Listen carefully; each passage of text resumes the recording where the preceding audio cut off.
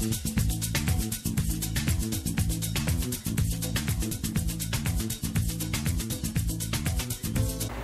to make a PowerPoint presentation for Mac 2016 in Camtasia for Mac 3.11.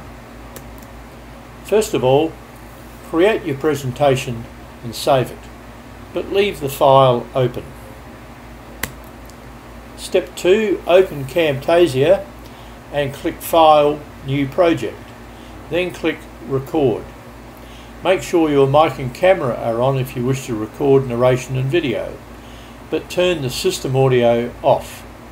Then click Start Recording, but importantly, wait for the countdown to finish.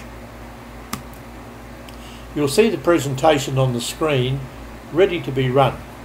Run the presentation in full screen, that is slideshow in the tabs and then play from start at the far left hand end of the ribbon. You can start narrating when you see the presentation in full screen. Then proceed through the slides by pressing the spacebar as you would a normal presentation. After your presentation is finished, press escape.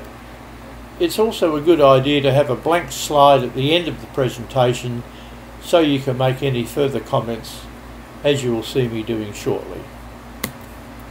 Then stop recording. Edit the recording on the timeline at the start and end to remove unwanted recorded information. You can now add further audio, callouts, etc. as you would a normal Camtasia recording. Here's our blank slide. It enables me to uh, thank you for watching or whatever else you might want to say on your blank slide, thank the audience, etc. Uh, lovely to have you uh, watch this presentation and uh, we hope you subscribe and we'll see you next time. Bye for now. I will now press escape.